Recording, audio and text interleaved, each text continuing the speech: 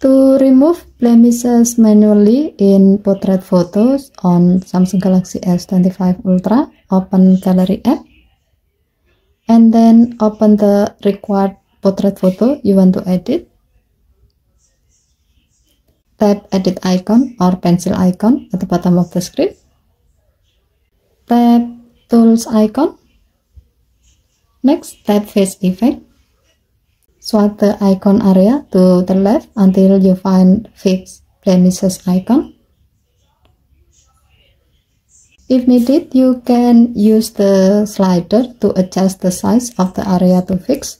You can move the slider to the right for larger spot or to the left for smaller spot.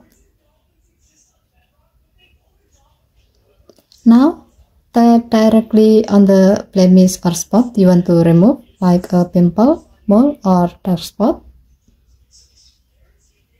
You can repeat as needed for other areas.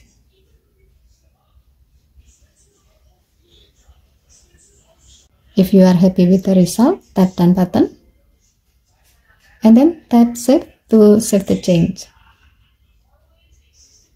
As a note, this feature lets you clean up small imperfection like pimple or spot by simply tapping on them. Also, the slider helps you match the size of what you are trying to fix, making it a quick way to make your portrait photos look cleaner without using any extra apps. Okay, thank you for watching. Please help to like and subscribe. Have a nice day.